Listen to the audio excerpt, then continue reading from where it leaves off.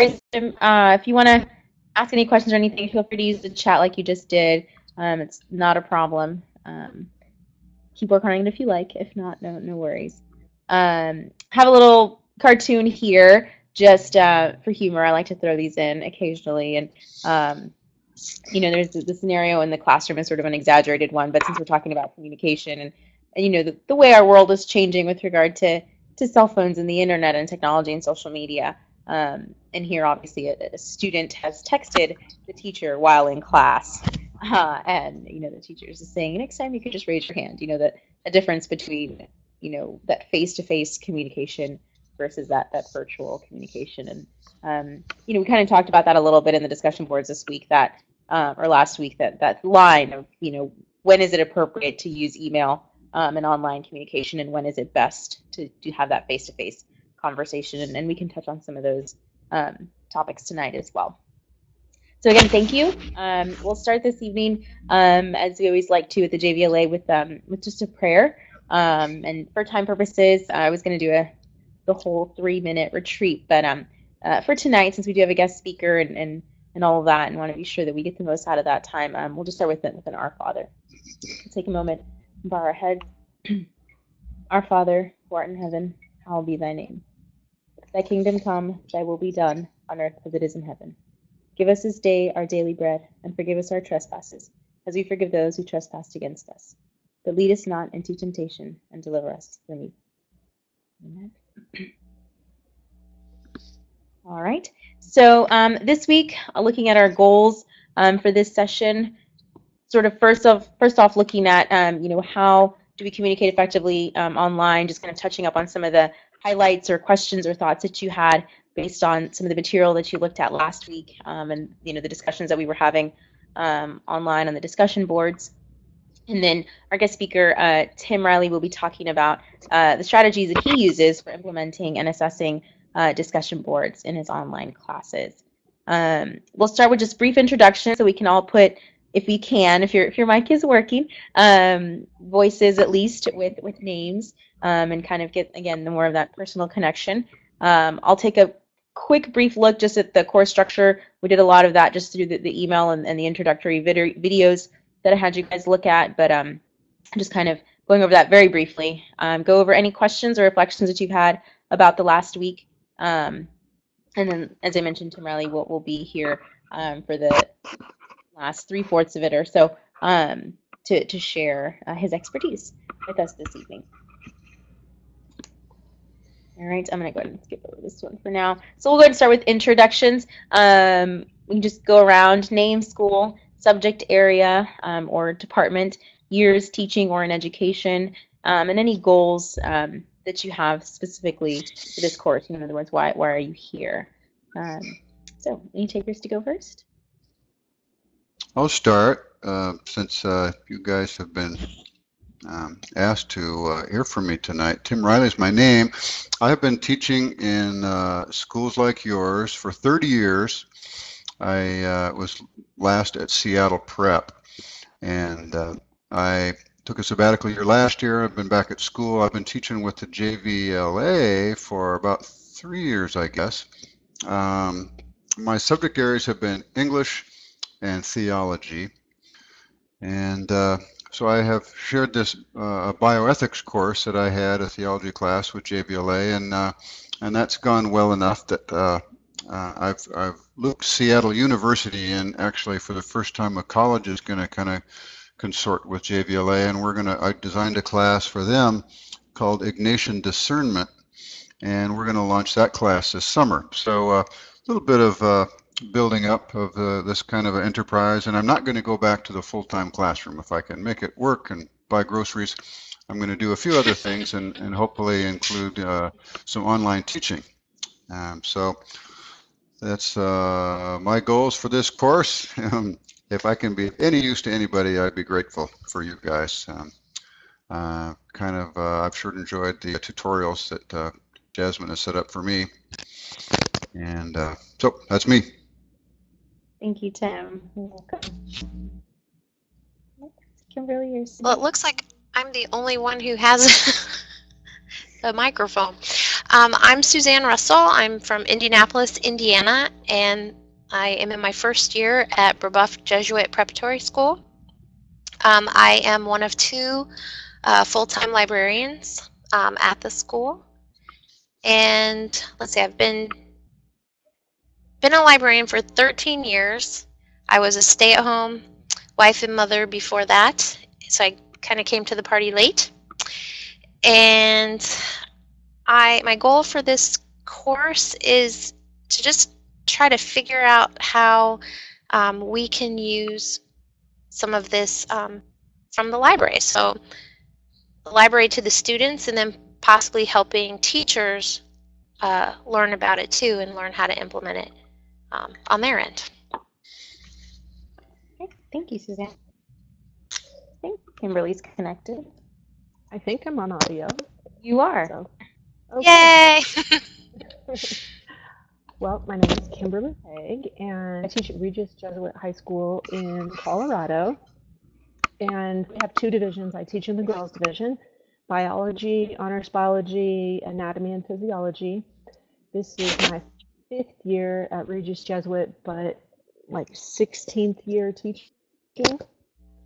And we are a one-on-one um, school for, for the first time this year. And so I am interested in different ways of integrating technology into the classroom that's meaningful and not distracting. And I try, I've tried a variety of different things. So I'm just, I look, I'm looking forward to learning more about blogging and just different ways of communicating with students and getting them engaged in the classroom. So I'm excited already just having watched the two videos that uh, Jasminne posted. So yeah, that's it. Great, thank you.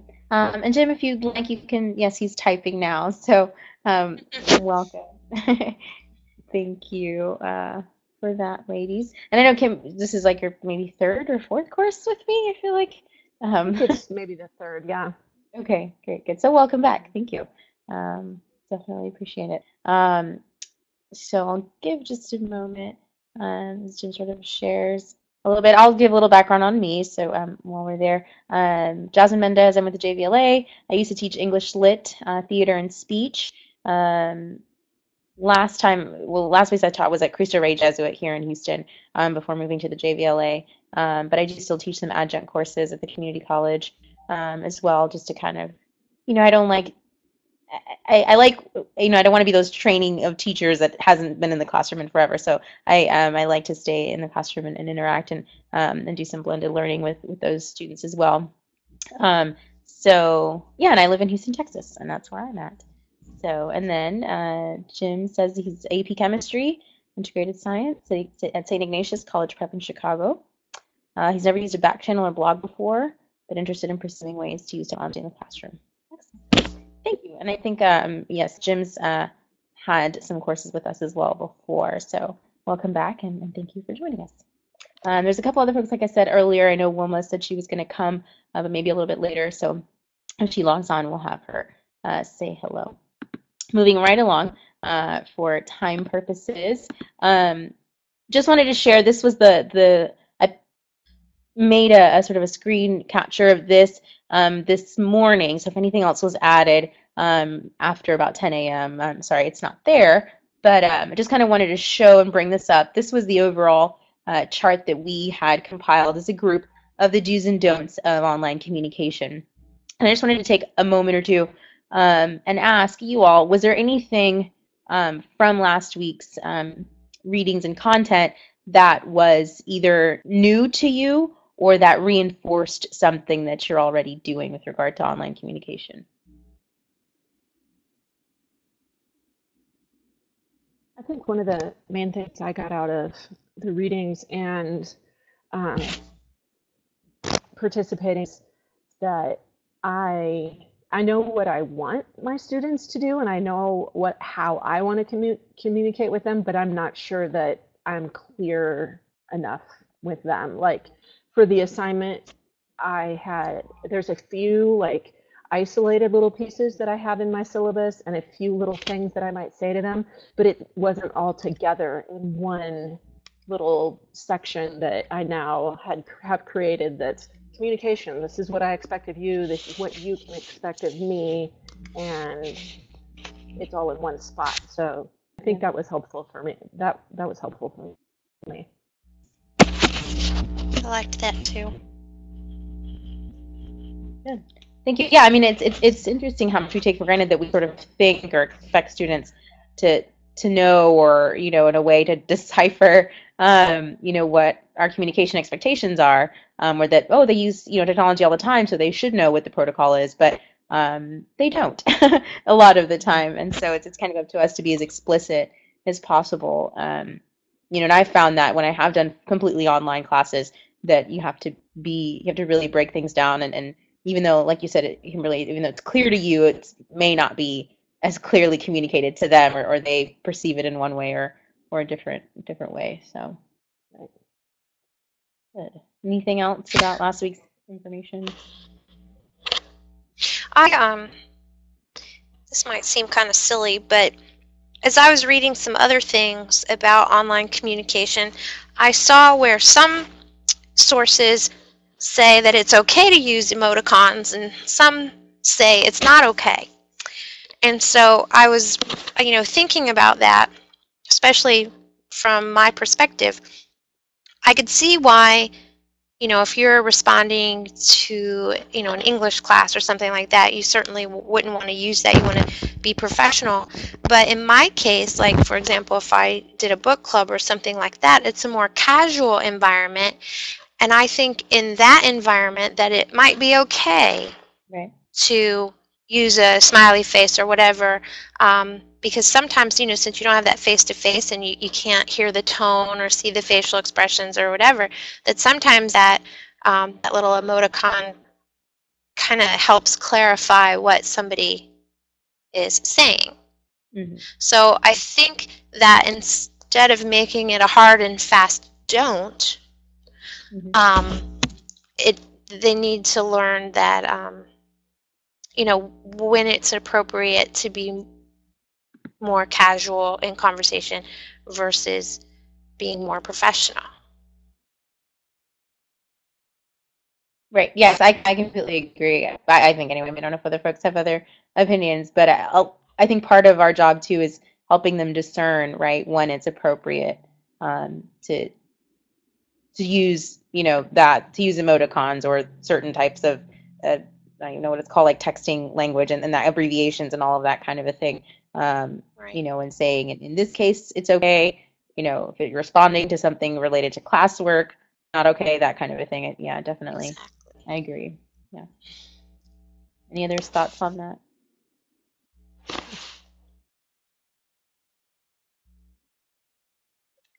All right.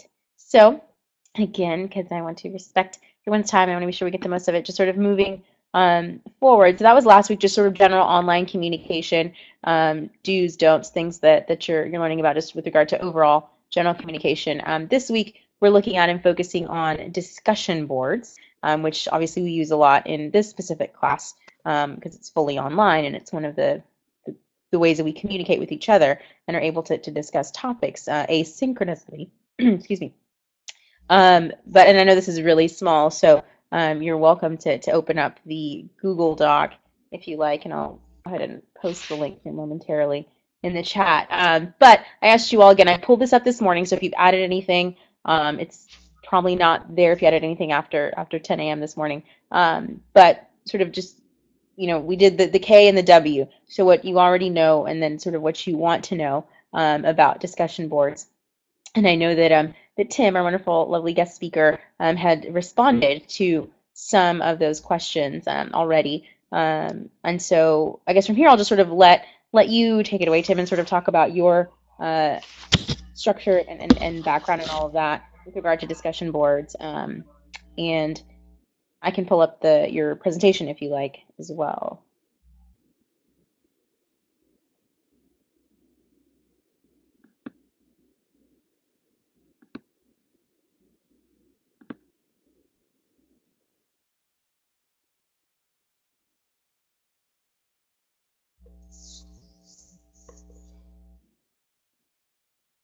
Tim, are you there?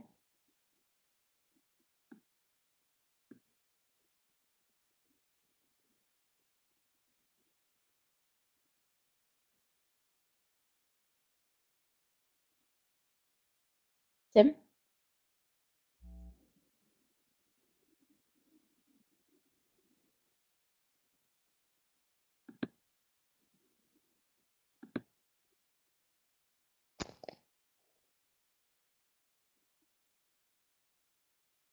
I don't know if we lost him or not.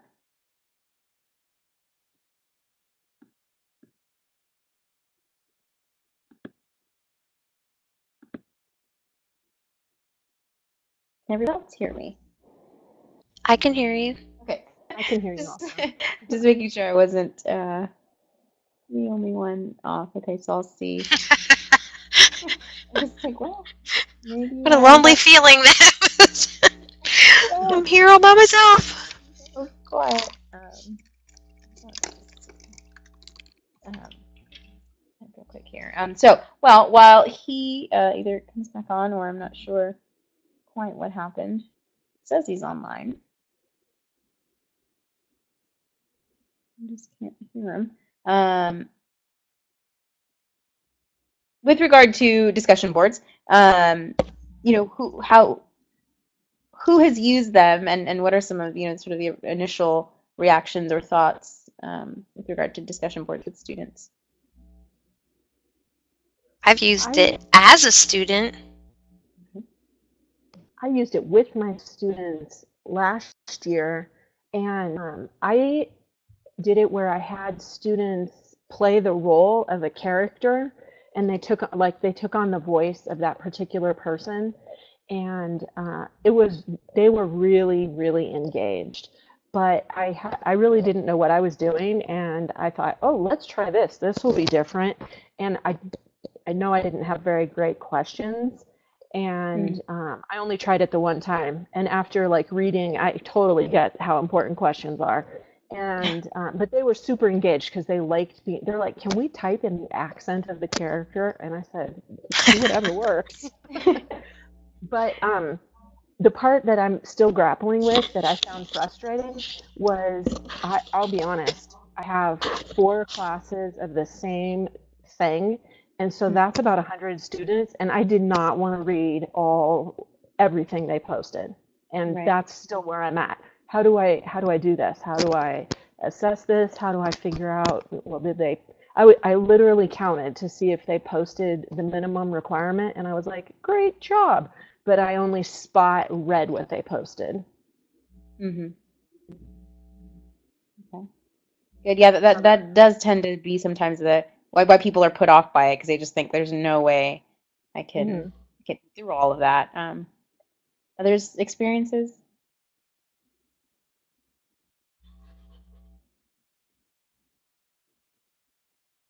just as a student you can Mhm. only respond to to someone's post as well as they post i think. Right. you know and, and a lot of times people don't post very thoughtful sometimes not even on target or on topic um, responses. You know they're just trying to check that block off that they did the required postings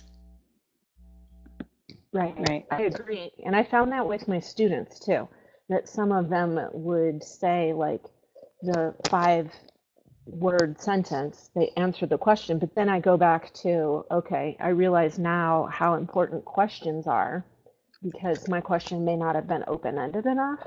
Mm. But then there was Mhm. nothing for the other people to respond to. And but I'm still happy I tried it.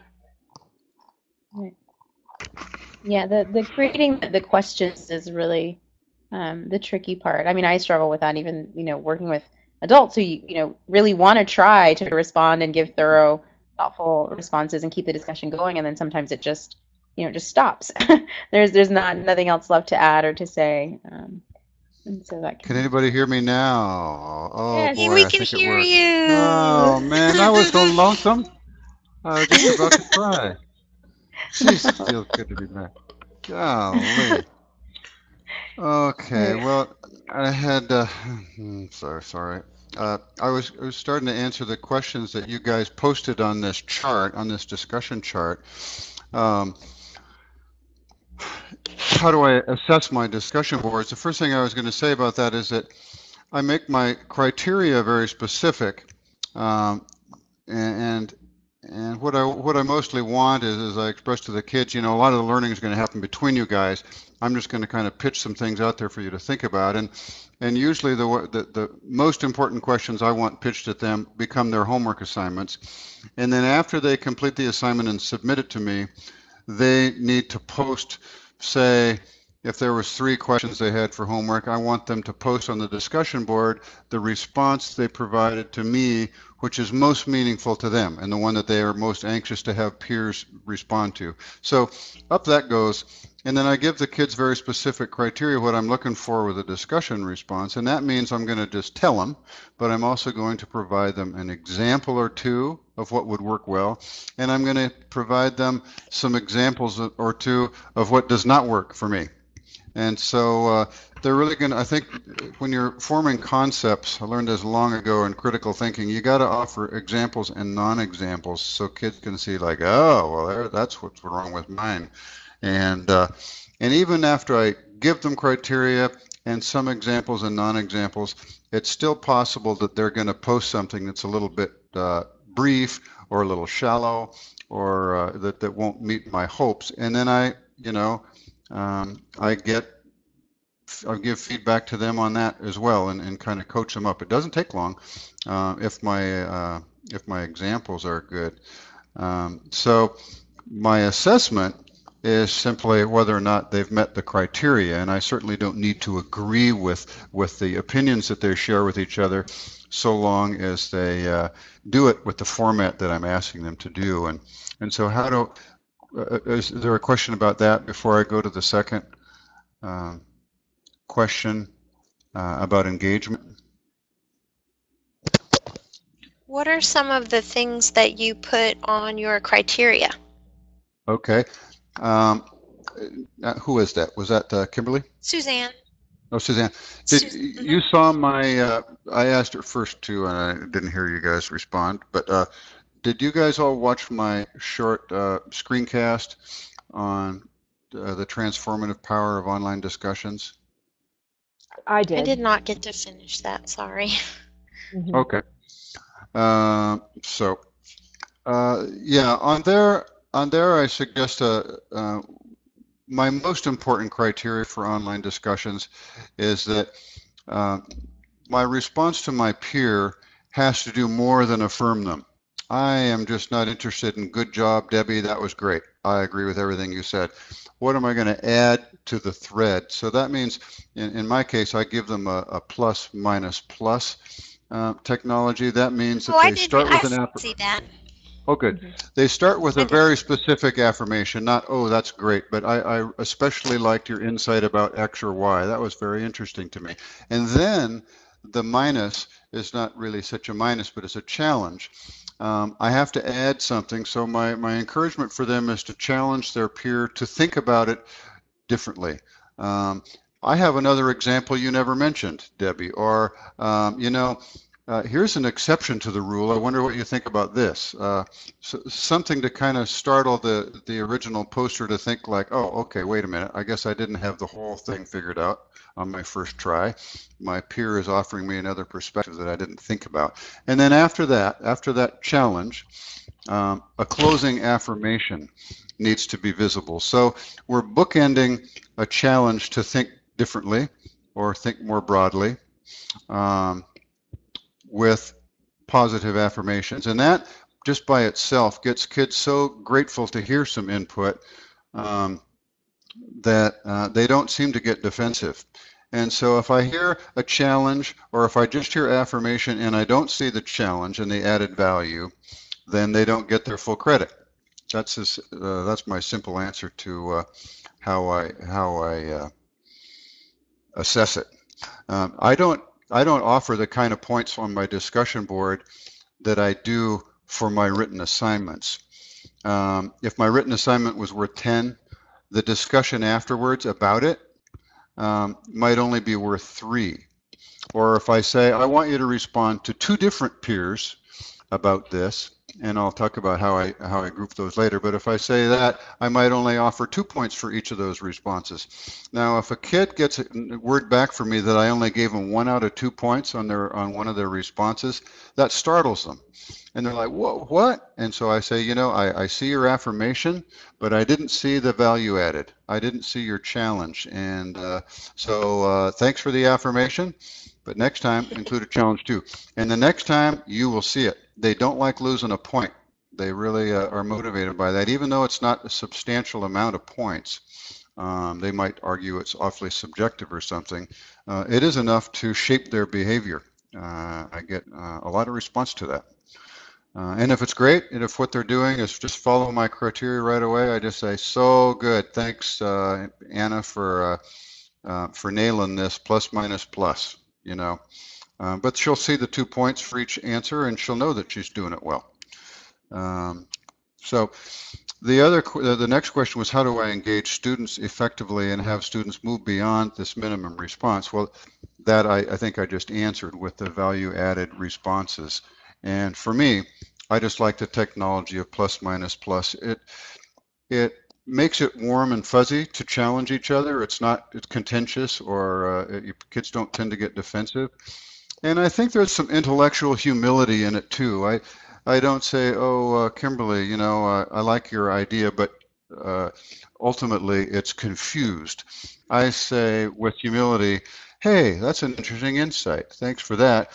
I was thinking of it another whole way. I wonder uh, what you think about that. So uh, I'm offering it with some civility and some intellectual humility as just an idea. Maybe you would think of, you would include this as another example or as an exception to the rule or something like that.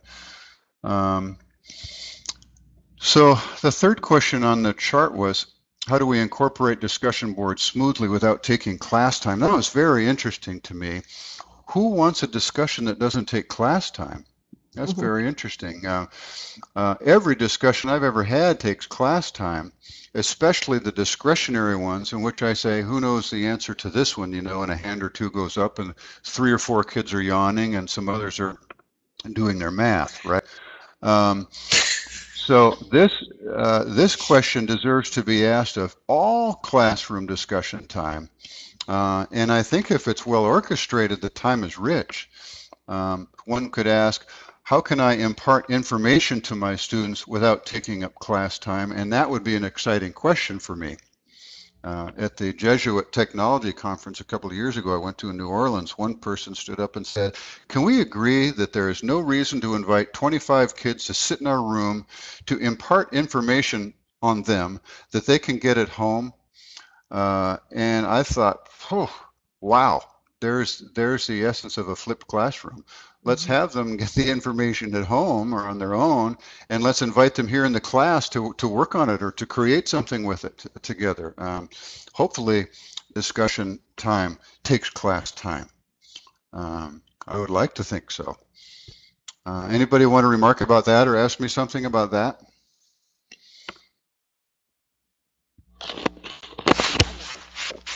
I, think I wasn't being posed to that, but it's something I thought about. This is Kimberly, by the way, because mm-hmm. um, I, I, I wonder what their I don't know. If an outsider walked into the room and there's a bunch of kids on their iPads typing away and they're engaged in this discussion, what does that look like to the outsider where, versus me engaging them in a discussion or them in small groups engaged in a discussion? I like get the whole concept. I do. It's just uh, it's just a thought that I have. It is a little it is a little different. Here's another uh, here's another example of, of a kind of a prehistoric online discussion that I used to use in my classroom. I would I would put put a question of some sort for kids to uh, maybe we just watched a film together or, or, who knows what happened we had some sort of an absorb activity which kind of like you know put something new in their head and i asked everybody to write for 10 minutes as soon as that time, that writing time was over, I asked them to stand up and walk around the room and sit at a new chair.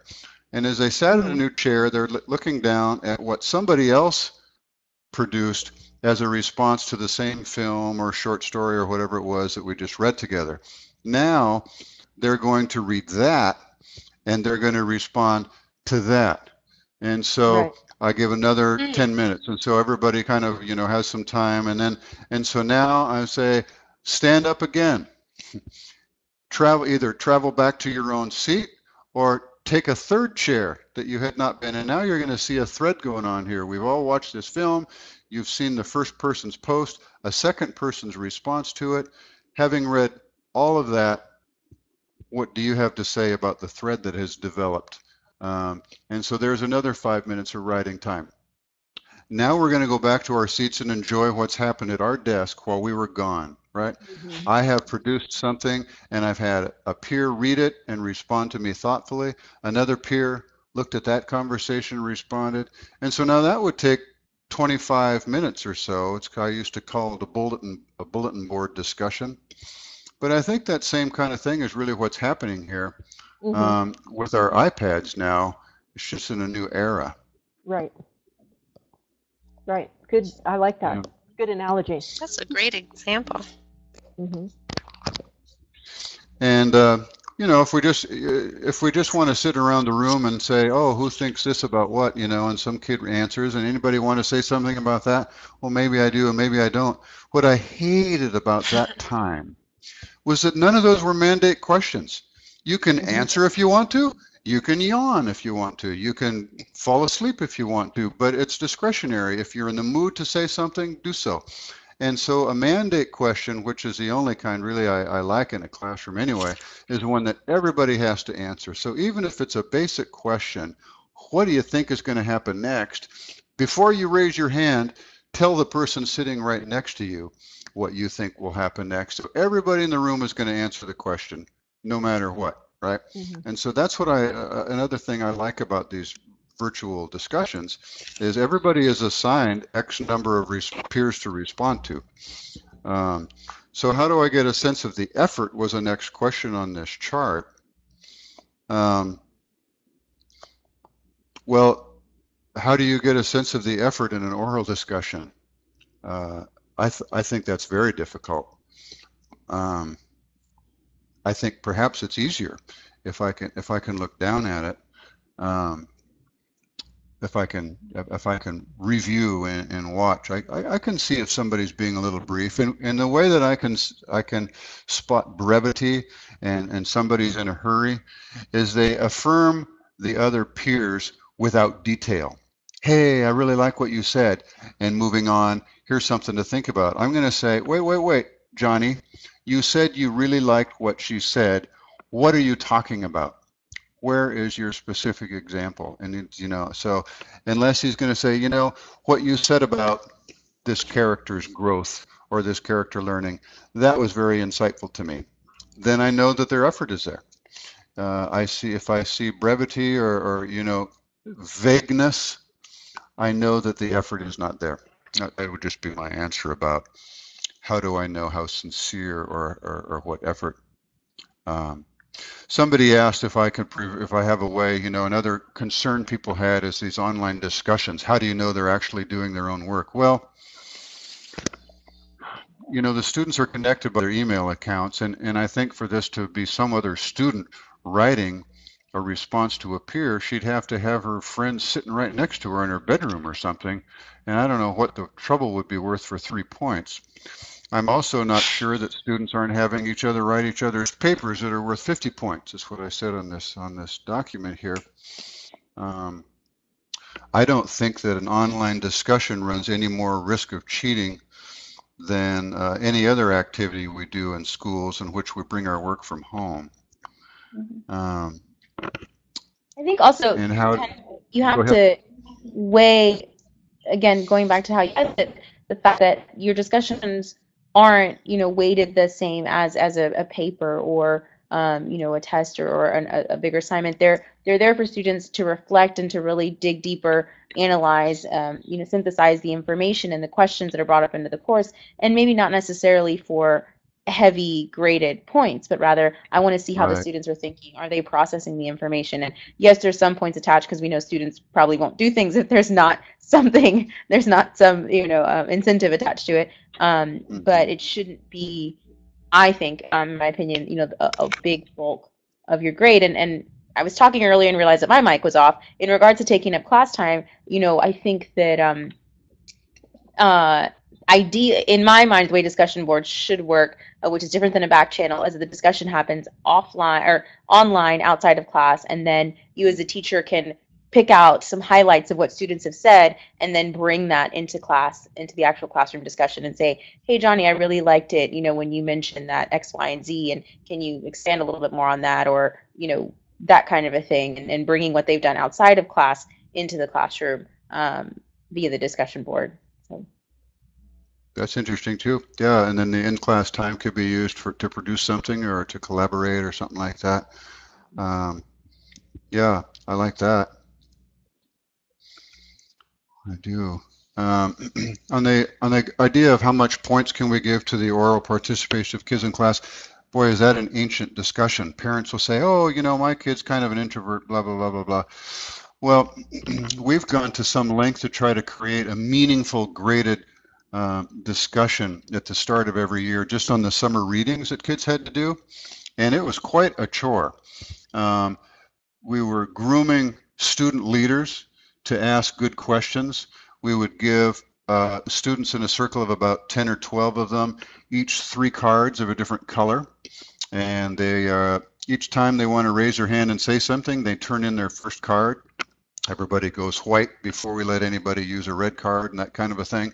And then as they hand their card to us while they're talking to each other, the teacher jots down one, two, or three. A, a one is a home run answer that was detailed and rooted in the text.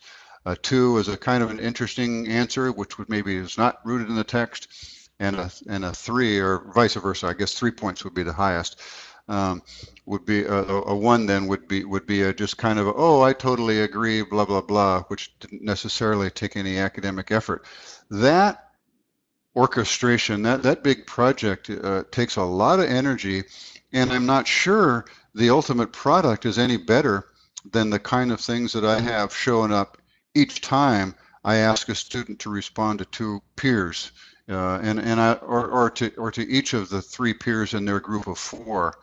Uh, for example, um, somebody asked a question earlier, how do I make sure they don't just talk to their friends? Well, um, you group them and you can change the groups, but the assignment is probably for, uh, for, the, for the night's discussion uh, to respond to the three other people who are in your group.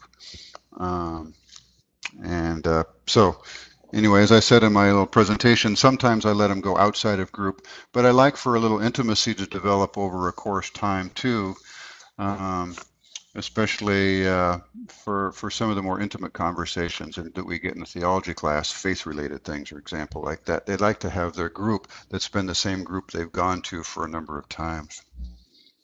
Do you ever let them talk between sections? Um, you mean Two cross pollinate sort class? of? Yeah. Uh, perhaps there should be time for that too. Yeah. I don't think you would do that necessarily when you're doing your virtual discussion. If you're doing a virtual discussion and you're trying to imagine, would there ever be time inside the classroom for me to have kids discuss this thing with each other uh, online? Um, I think it would it would be more like the bulletin board discussion with better technology that I just described earlier. Um, I like uh, what I think it was Kimberly that just said. She imagines uh, some of her discussions being things that they do at home, and then some of the highlights so that could be brought back to the class the next day. That could that could also be the case. But well, that's what I, what I, mean, like outside yeah. of class, because you have section one talking with a oh. group from section two. Oh, because they maybe because they're not. In, yeah, they couldn't do it simultaneously because they're not in class at the same time. But mm-hmm. outside of right. class, two different sections of the same class could. Oh, I see what you're saying.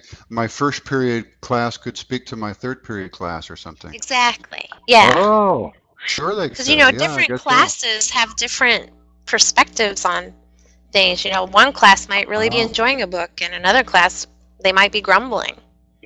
That's interesting. Yeah. I don't know if you have the technology to network your two classes and let them access each other on a discussion board. If they're on a Moodle class for example, Mhm. only the people in that class would be uh, available to them unless you somehow bunch the whole Moodle uh, community together. I hadn't thought of that. That's interesting. That's a good question, though, for the IT guy. Yeah. Yeah. Uh, what I was going to say is that the thing that I value about the online discussions that that I've sort of promoted in this screencast is that the quality, the substance of the exchange is very different from the kind of things that happen spontaneously in a classroom, which uh, do not necessarily require any pre-thought any pre-writing and do not have necessarily any structure required on the response. And so the uh, the plus minus plus thing has just really been a powerful tool um, to make these meaningful. And one of my favorite colleagues in my high school was such a great advocate of intimate classroom discussion, was a perennial naysayer with virtual discussions. He said, "No way! It's not going to be intimate. It will not be warm. It's sterile. It's technical. It's kids have too much of this already." And I have to say, while I respect that, the exchange depth that, that you can get with these virtual discussions surpasses the depth and the detail that you get in the classroom because kids have time to think before they speak. Um, it's just it's it's it should it at least deserves a place um, among classroom discussions for that reason.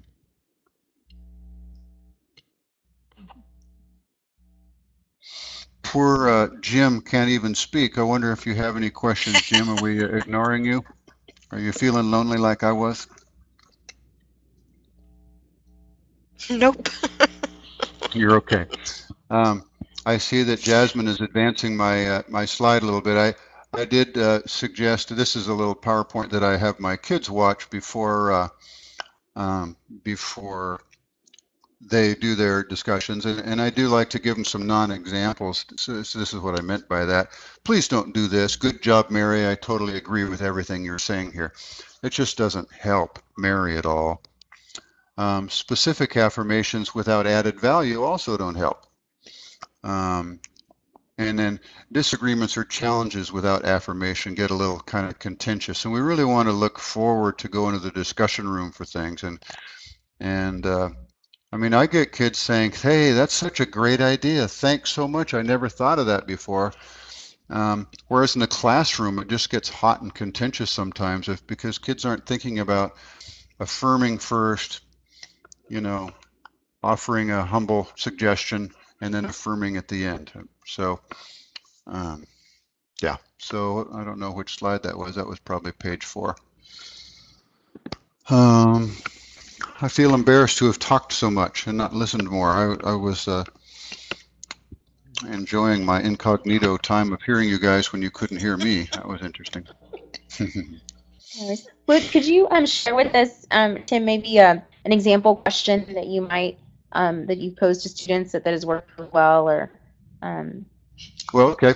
Uh, yes, in bioethics, uh, uh, one of the uh, topics we're, we're just talking about ethics in general. At the start is a, is a sad story about Kitty Genovese, who is a woman who was uh, raped and murdered outside her apartment complex in Brooklyn a couple of decades ago. And the weird thing about the story was the neighbors all were peeking out their windows and they all reported hearing about it and they all looked out their doors. The, the assault actually went inside the apartment and continued in the lobby. No neighbor ever phoned the police or ever came outside their door. They were all frightened to death. And so uh, the question for the kids was Do you believe the people in Kitty's apartment complex should have been legally required to do something? Is it a criminal offense to ignore our neighbor when we could do something with no risk to ourselves?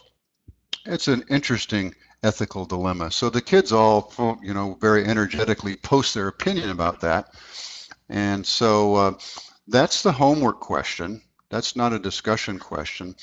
The discussion happens once everybody posts their response to the Kitty Genovese story, and everybody else has to read what the, their peers said and respond to them. And the response has to have uh, an affirmation of detail they appreciate, another perspective they were not thinking of, and a closing affirmation. And so, uh, Ooh. I bet those were some Yeah. interesting comments. oh, you know, everything. And we're going to talk about euthanasia next. And gee, somebody's grandma is living in their home right now. And we talk about abortion. And some kid's got his his sister and her baby living in their house. And it's like, you know, um, these are very, very big, relevant personal topics. And we don't want to boot them around with any kind of a, you know, it's not like a math question. No uh, offense to math teachers. It's, it's a different kind of discussion here. We really have to protect the environment with with uh, sensitive, you know, humble sharing of opinions, and a, and a lot of affirmation, so everybody knows that they're that they're it's safe for them to say what they think, and and if they get challenged, it's going to be uh, you know um, a warm fuzzy one, you know. So it's it's just critical that I coach up the style of interaction with kids in these kind of conversations, or or nothing, you know, really meaningful will happen. And so that's a little bit different, I realize, than uh, who says Huck Finn did the right thing or the wrong thing. Um, that can be good too, but it's a little bit less personal, um, less volatile or vulnerable, I guess I would say. And, and I mean, I love the point that you made, to me about creating that safe environment. I think sometimes realize that we have to create that in the online space as well when we're Oh, talking yeah. about sort of like the blended teacher that, well, it's safe in my classroom, but then, you know, when you get online, some people do feel safer and some don't. You know, maybe they've been victims of cyberbullying or they just don't feel Oh, as confident to put their their selves out there in that way because you know fear of being attacked and internet trolls and, and all of that kind of a thing. So um, i think it's important that that we like you said sort of build up and, and create that safe environment online as well as as well as in the classroom. Um, and, and so you know being sure that you do that early on and and like you said the, the affirmations i think is, is really helpful. And and i struggled with that a lot as, as a theater and speech teacher when i had students give each other feedback on presentations or performances and um, creating an effective system that allowed students to to be critical of each other's work but in a respectful um, right, kind way you know. Right. others thoughts or questions about anything?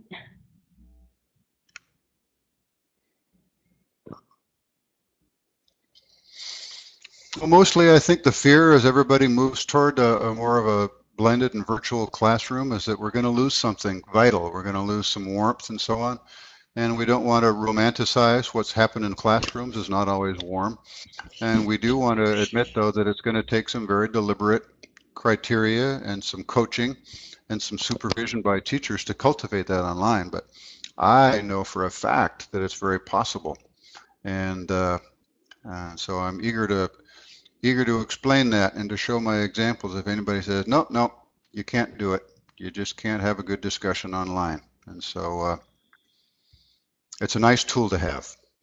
Mhm. If I was ever going to be back in a classroom again, I would certainly want to have uh, the technology to do some of these discussions as well as the old fashioned stuff. So, so Jim says that he struggles with tying in good online discussion to a science classroom. Um, and my Mm. my first reaction to that, my first thought, which I, I wanted I meant to mention earlier as well, is um, and I you know and I've read with some of the things you know that I that I've shared with you all for this week is um, the more ownership students can take of the discussion, um, the better the discussion will be. Um, so the the more connected they feel to it, the more um, it's relevant to them. I think the more um, engaged they'll be with it. Um, and I think uh, one of the, the the big ideas that comes up in the early readings for this week was that you know not posing yes or no questions or you know there is going to be one right answer, but I wonder if in science you can ask about you know describe how you might um, conduct this experiment or, or find a hypothesis to this, et cetera, or bringing in um, you know sort of the the real world or, in the news, science in the news kind of type questions um, that maybe they could discuss and talk about um, online as well as in the classroom. I'm not sure if that's something you've thought about or, or considered. I Yeah, I like that answer. Oh, sorry. And Oh, I'd, no, ask, it's okay. I'd like to ask Jim too, do you struggle finding a good in-class discussion in science. And, and I wonder uh, if that's an easy yes, um, why it wouldn't be just as good um, uh, online. Is there something different about the online environment uh, that would want to change the question? Uh, certainly, as uh, as was just said, you know, questions about stem cell, you know, research could be in the classroom, and then a an, an editorial about it um, could be discussed online. But I suppose that would just be the same in the class. I don't know. I'm not a big science guy, so I don't know what kinds of great great questions they would have there.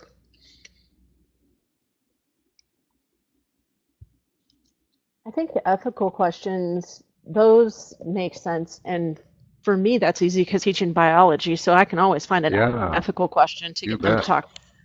But maybe in chemistry, that's not necessarily as easy. But the um, Jasminne mentioned something that made me think about the inquiry question is um, like the standards are trying to get us to go towards more inquiry and argumentative science. So maybe trying to frame around around that and and not the cookbook experiment, but hey, what what is the hypothesis for this? What could be a hypothesis? How would you change it? Or do an experiment and what would you do next? And what would it look like? You you could have that might be a good place for conversation and discussion online or in class. hmm I think too, with my limited knowledge of chemistry, but if you know, you know, online, there's also just as many things, like as Tim has mentioned, that you can do online as you can do in person. And thinking if you posted a, a video, uh, maybe a few minutes of, of an experiment or something happening, an equation, and then it pauses right at the, you know, or you you you don't show them the whole video and, and asking them, you know, what could happen next, or what should happen next, or what might happen next, or how would you solve this, um, different ways, that kind of a thing, um, you know, might lead to interesting discussion. I'm Not sure. hmm Yeah, I'm I'm pretty ignorant about what kinds of great discussions go on in a science classroom. I shouldn't be. I'm not proud of that. But uh, in the math, it's the same kind of thing, unless it was applications. You know, um, the, they would be just as good virtual as in the classroom. Okay, good. All right, we have just a Yeah. few more minutes. Any um, last questions for, for Tim about discussion boards, about online communication in general, or things that from the this week or last week that we haven't gotten to yet that you're wanting to share or ask about?